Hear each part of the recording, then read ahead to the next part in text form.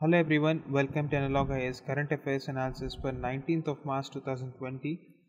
There are not many articles today, however, we'll be looking at these couple of issues.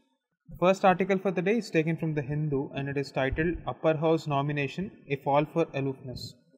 A couple of days ago, it was announced that the President decided to nominate the former Chief Justice of India, Ranjan Gogoi, to the Rajya Sabha. However, the time has come for us to ask a difficult question. Should judges stop accepting post retirement jobs offered by the government, say for at least a few years after retiring, so that it does not influence their decisions when they were in power? Because accepting such positions could undermine the independence of judiciary. This independence of judiciary is a basic structure of the constitution, so we cannot afford to compromise on that.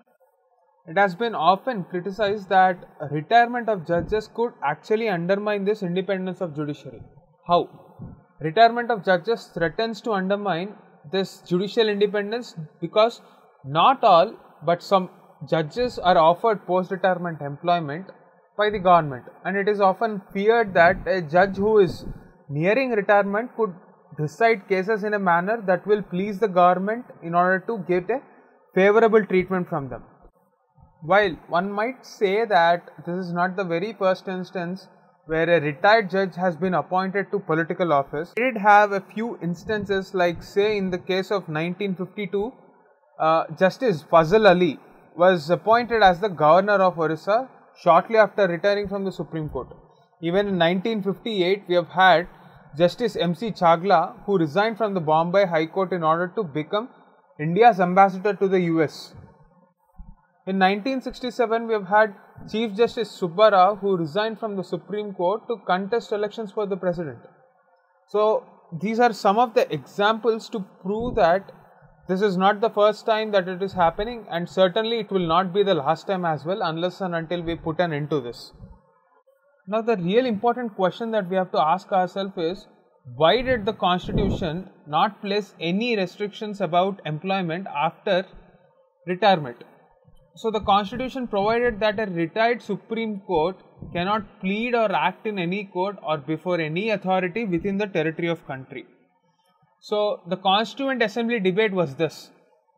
K.T. Shah, an economist and advocate, suggested that High Court and Supreme Court judges should not take up an executive office with the government.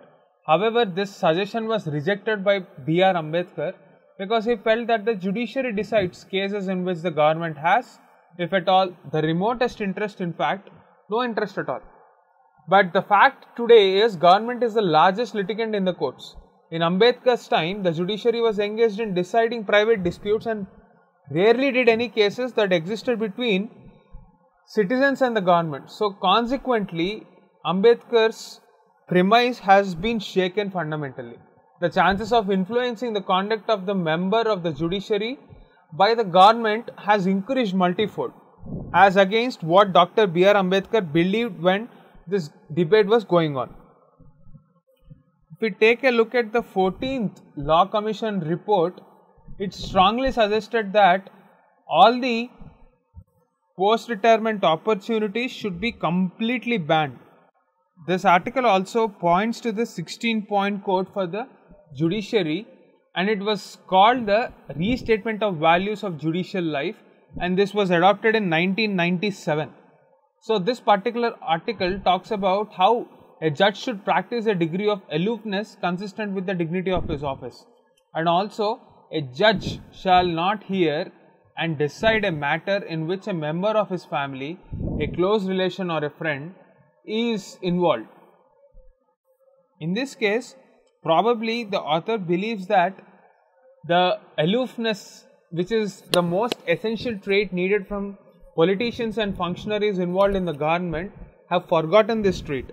So he brings us to this point that this code of conduct can be a guiding light during these times of dilemmas and people who are involved in these public offices should exercise a sort of a restraint from accepting this kind of an offer. Apart from this, there was also allegations of sexual harassment against Justice Gogoi And it is in this context, the way with which the entire proceedings happened and how uh, this particular office is being offered to Justice Gogoi casts serious doubts on the credibility of the judgments passed during his tenure. So, in order to avoid such kind of situations which are very really awkward and unfortunate, there should be a code of conduct which is strictly enforceable. That is the gist of this article according to the author of the article. The next article for the day is an issue regarding the aggregate gross revenue of telecom sector. Previously, regarding this case which is almost 20 years old where telecom operators owe more than 1 lakh crores to the government together have approached the Supreme Court seeking an exemption or extended time frame to pay this particular dues. So the definition of AGR and the amount calculated that is 1 lakh crores is deeply contested both by the government as well as the telecom operators. It is in this situation where the Department of Telecommunications has held deliberations with various telecom operators and finally asked Supreme Court's opinion on what to do in this particular situation. In this context, the Supreme Court said that it saw no merit in letting them hover around for 20 years or even waiving of associated penalties and interest on unpaid sums. It even went to the extent of ordering that the Supreme Court judgment that it passed in last year should be abided by as soon as possible and the Supreme Court has directed the government to extract dues and penalties and the entire AGR amount as soon as possible. The origin of this AGR story dates back to early 2000s where the telecom sector which is in a nascent stage felt that it needed some support from the government. So the new telecom policy shifted to a model where the companies would be sharing a bit of their revenue. This has replaced a licensing fee concept and instead the definition of this revenue sharing has been loosely defined which was the bone of contention even till this date.